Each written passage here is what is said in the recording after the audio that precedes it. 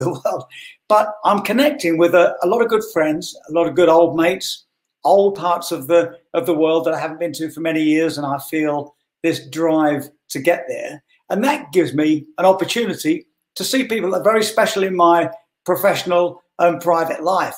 And that's where Emanuel comes in. Emanuel, welcome. How are you? Hey, Paul. How are you? I'm doing great. We're, we're really getting places now. It's really happening. this is amazing. I'm so privileged to be here with you today, Paul. well, we're delighted you could come. Wow. You know, amazing speakers. Wow.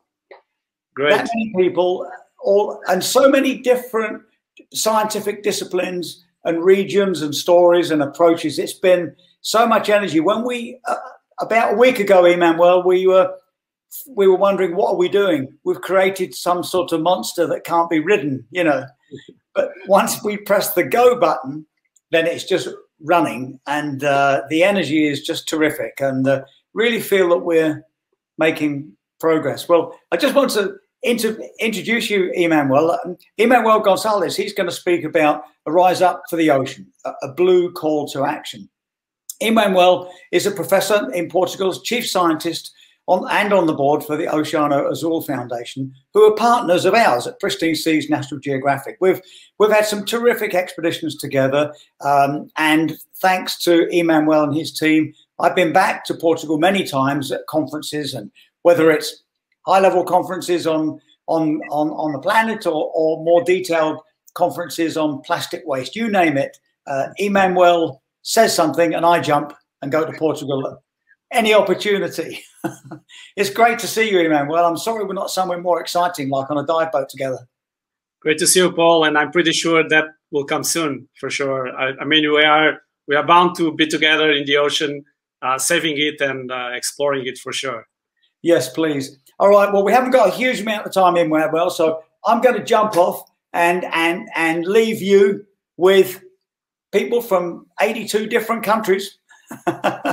Have a lot of fun. See you in about 20 minutes. so let me start by showing a, a small video about this initiative.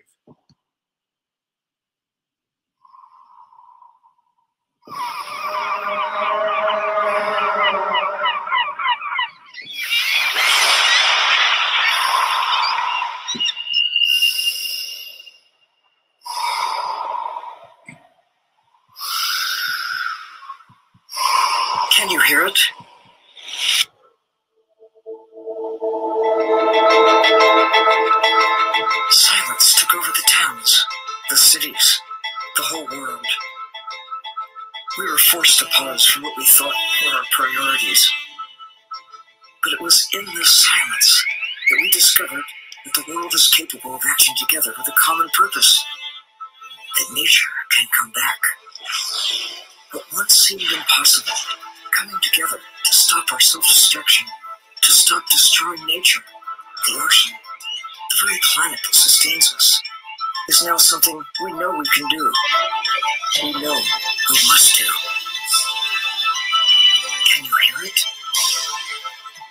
Our voices speaking out together. Our solidarity, joining together, rising loud out of the silence where we learned. What, you might ask?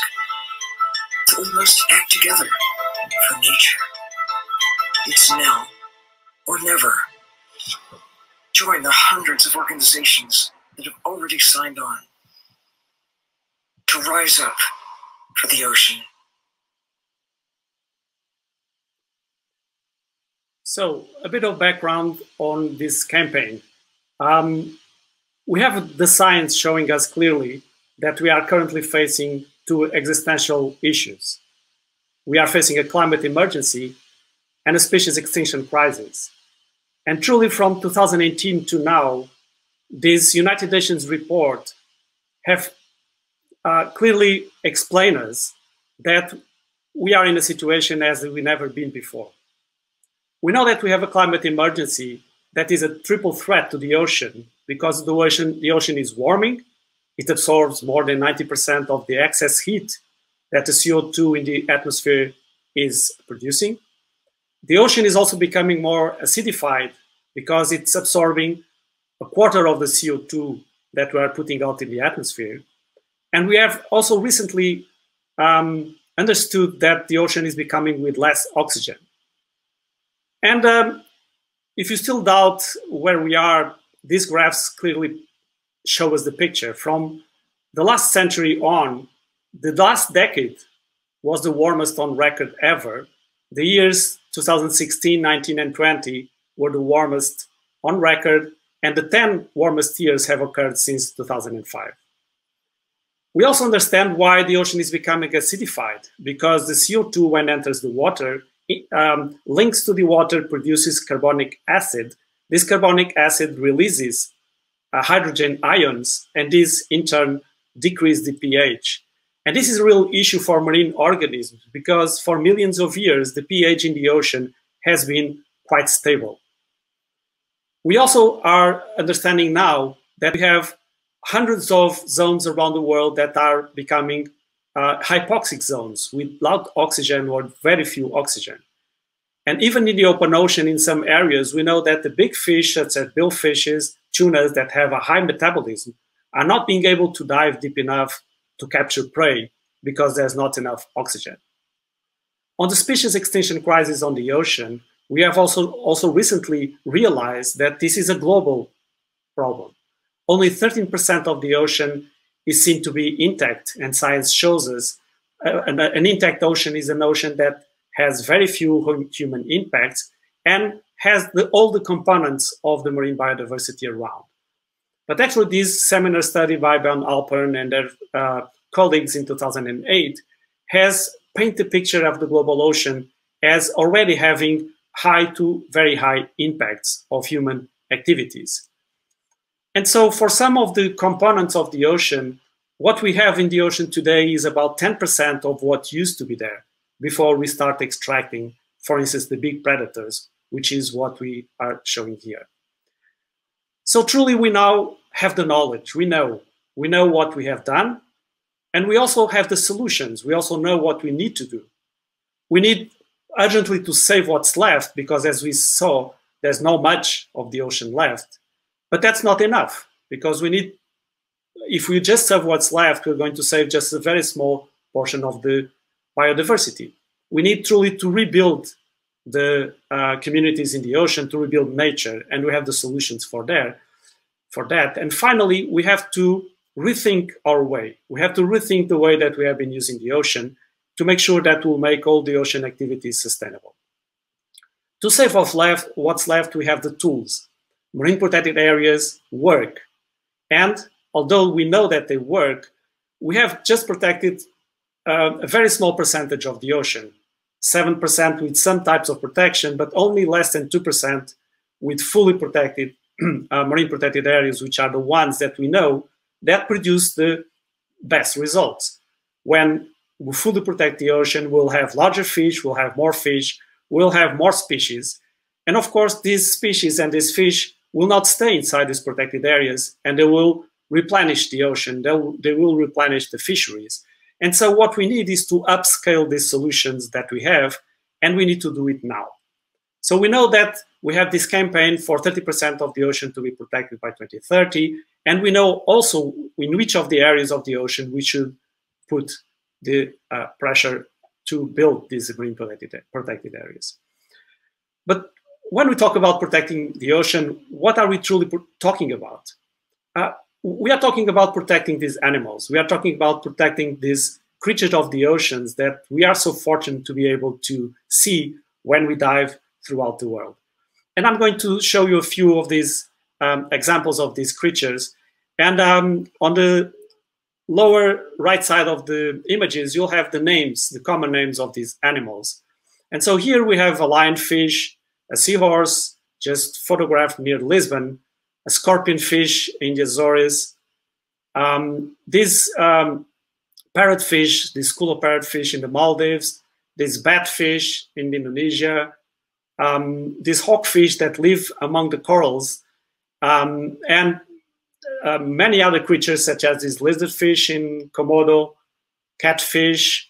So this is what we talk about when we protect ocean, the frogfish that are amazing creatures and these tiger sharks. But if, if you have listened carefully to the names of these animals, and I'm going to state them again lion, horse, scorpion, parrot, bat, hawk, lizard, cat, frog, and tiger. We realize that what we do is that we bring what is, what is familiar to us on earth, on the land, and we put the names of the animals in the ocean as um, they were these land animals that we are more familiar with. And so we have this disconnect between the ocean animals and uh, humans. And if you don't uh, believe me, I'll show you some more. These sea slugs that um, are truly the butterflies of the ocean. They have these amazing forms, these amazing colors. They are all over um, the world, uh, a, a, uh, a, favorite for divers. But even here, we have a sea cow, again, a land animal.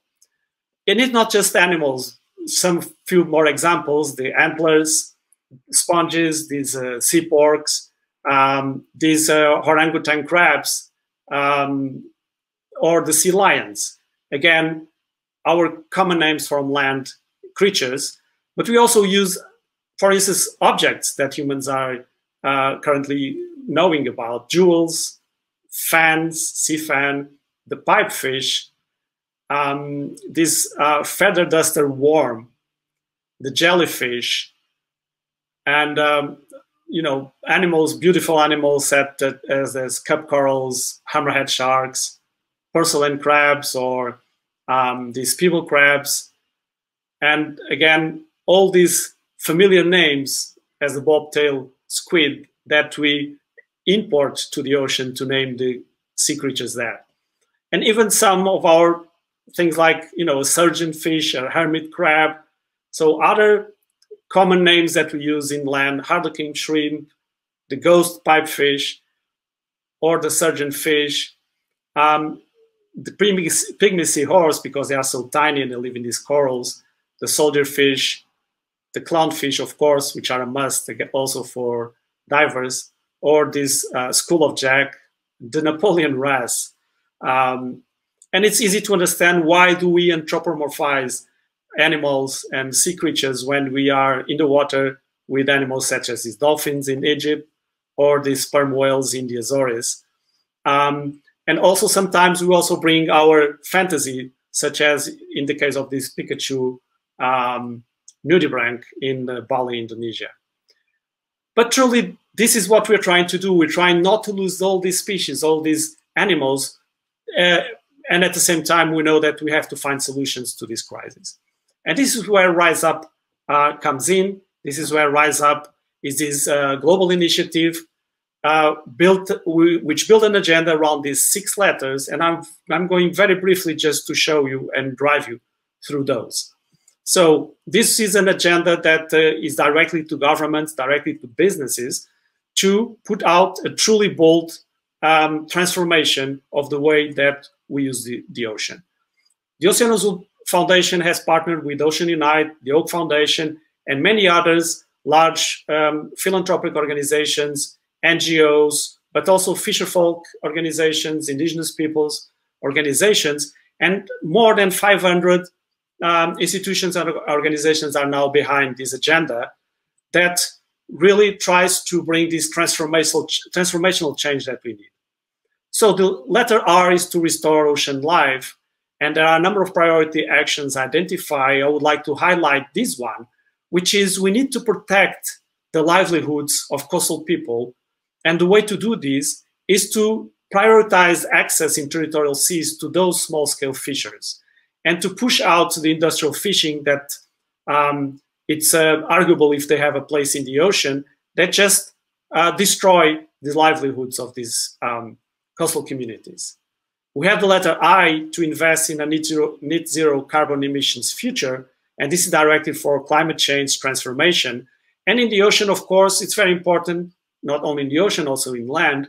But if we are to face this challenge, we need to ban all new offshore oil and gas exploration, and we have to phase out the ones that currently exist rapidly so that we can stop putting carbon in the atmosphere as we are doing today. The letter S is to speed the transition to a circular and sustainable economy. And here I would like to highlight, and we have heard today about the Dasgupta report, that it is essential that we incorporate ocean value in economic decision making. And for this to happen, we need to um, make sure that the natural capital and also the social capital are included in the cost benefit analysis. And of course, we also need to stop destroying the ocean further, such as uh, using uh, activities such as seabed mining. Letter E is to empower and support coastal people, and it's fundamental to give coastal people and uh, indigenous people the way to recognize their rights, to secure their rights for marine resources, because by this, we will also bring resilience, social resilience, and economic resilience. Letter U is Unite for a Global Govern Ocean Governance. And here I would highlight this idea of having a States of Head conference that will look at all these actions of the Blue Call and will make sure that they are implementable and they are implementable now. And finally, letter P, protect at least 30% of the ocean by 2030. I would like to highlight two of these actions. One is the 30 by 30 adoption of the Convention on Biological Diversity that we are, are looking forward um, later in the year in, in China, and also to accelerate progress in implementing this 30% of protection of the global ocean by 2030. So what this um, agenda is bringing is a new way to look at the ocean, pulling all these pieces together for a global agenda where we can try to uh, bring the solutions to solve this ex existential crisis. And these four transformational actions that uh, are here are, we believe, um, essential ways to bring forward to governments and decision makers now. And the first one is an obvious one. We have lots of policies, we have lots of legal frameworks, but we keep procrastinating decision making on ocean governance. And we need to stop doing that. We need to implement what we already have. But we also know that that's not enough. And so we need to move forward with this idea of a global ocean pact. And the Rise Up for the Ocean agenda could be a strong basis for such a pact. And finally, these two other um, um, these two other actions we firmly believe that could be really transform transformational. And the first one is that we really need to invert the burden of proof of marine conservation. What we do today is that we close areas and we fight everywhere else to stop destroying nature. And we have to reinvert this process. We have to assume that the ocean needs to be protected. And then when we open certain activities in certain areas in certain ways, we need to make sure that those activities are sustainable and are, do, and are doing in a sustainable way. And finally, this uh, fourth action, um, which is an obvious one as well in our point of view, is that the high seas should be seen as the common heritage of mankind. And so we need to stop destroying the high seas, to stop fishing there, to stop uh, now thinking about uh, mineral extraction, because it's not economically rational, it's not socially viable, and it's not environmental sustainable. And so if we bring all these four transformational changes, we believe that we will have a way forward. Finally, I will direct you to the website riseupfortheocean.org. Any organization can come and sign to the Blue Call to Action. And we hope to bring this to the next UN Ocean Agenda, which will be in a beautiful Portugal, Lisbon, in July next year. Thank you very much. Wow. Emanuel, that was just fantastic. Bravo. Thank you, buddy. Absolutely brilliant. I've always enjoyed your perspective. You have a great way of having a you know refreshing perspective on something, and I got a lot from that one. And obvious to you, but not to me, is the use of land words. What a great way of giving us all a fresh perspective on the ocean. It's amazing, isn't it, Paul? You know, I was pulling the slides together for this talk and I was trying to find an angle where we could show that there is this disconnect between us humans and the ocean. And the reason for this disconnect uh, is one of the reasons why we are having such a big problem is that it's very difficult to explain and to show to the common citizen, so to say, that there is all this value underwater, all these beautiful animals, and we need to protect it protect them. And you know, it really struck me that we are using all these land references when we refer to the ocean, because actually we have this disconnect that we need to move forward and we need to try to solve. And um, I think it was a powerful way to try to transmit. Um, and I would look at more more uh, uh, ocean animals now with a different angle in trying to find how do we name the do we name them and and uh, and what are the bases for those names. But uh, yeah, it's a very a very interesting, I would say, um, realization that uh, humans are actually tra translating what is familiar to us um, to the to the ocean. I think it's just great. You've you've given me a, a you know different perspective, and I can imagine us diving together next and finding our own alternative ocean-based names or something. We, we have to do it, Paul. We have to find to find names that are less familiar to humans, so that we can bring all this imaginary also to people. I think it's brilliant. There's a lot of potential there, and for and I've just put the website up there. You know, Rise Up for the Ocean. It's it's a great initiative. I like the idea that people can join in and sign up. How much support do you have at the moment? Yeah, it, is, it has been amazing, Paul. You know, this uh, this global initiative that uh, we are one of the partners has um, gathered more than 500 organizations throughout the world already, and we are actually picking up on this agenda. And for each of the items of the agenda, we are building a plan of action. So the idea is that we will bring to the UN Ocean Conference not just a request, if you want, of items, but exactly how those actions could be uh, implemented, could be implemented now, so that we will, um, you know, have hope that this transformational agenda could become a true ocean pact that we need in order for us to um, not only save the ocean, but uh, as Sylvia was saying back then, uh, to save ourselves, because this is what is at stake now. And, and, you know, we have a very, very short window of time. So this year and next year are going to be critical years for the ocean. We have the CBD coming up, the Convention on Biological Diversity meeting. We have, of course, the UN Ocean Conference in Lisbon, which are going to be critical for us to make sure that um, you know we stop procrastinating, and more than that, we rally all these um, forces together, all these people together, all these projects together, and uh, we make this an in inevitable agenda for us all at the global scale. I think it's fantastic, Emanuel. It, it couldn't be better because it's the right time. And let's face it, you know, here we are with COVID-19 pandemic has all brought us, you know, sharply to focus that we need to look after nature better, re readdress that balance. All of this great financial advice and um, presentations we've been receiving on global economies through the festival have been very rewarding for people like us, Emanuel, because they're telling us that every single sample we make, every single data point we make, every photograph we take contributes to smart decision making politically and global economies. So it's a it's a really sweet spot, and it sounds as if your project is going to hand the decision to people on a plate, really. Yeah. Absolutely, Paul. You know, and, and science is key for all of these. Science is what shows us the problem, but science is also driving us the solutions. And so we need to continue and we truly need to upscale science in the ocean. You know, we are in the decade of ocean science, but you know, the, the, the budgets are still a fraction of what they need to be so that ocean exploration and ocean science can truly be the, the, the, the backbone of this new bioeconomy that is coming our way, where nature finally could be valued instead of destroyed. Fantastic. And you know, you had me as on your first image, Emanuel, because it was our wave in the Selvagens. It was, it was for sure. and, and, so everybody knows, Eman, Emanuel and I were together in the Selvagens um, expeditions a few years ago. And one of the things we did is we all fell in love with this particular wave. It was an, almost a standing wave that was up over a shallow seamount, and we fell in love with that wave. So that's when you, when you showed that image, I went, "Oh yeah, I'm hooked." well, it was such an amazing expedition, Paul, and I just uh, hope that we can have many more. Oh, I can't wait! I can't wait to get back at sea with you, buddy.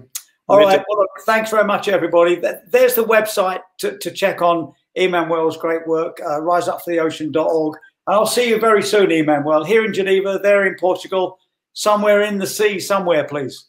Let's do that, Paul. Thank you very much. Okay, buddy. Thanks very much. See you.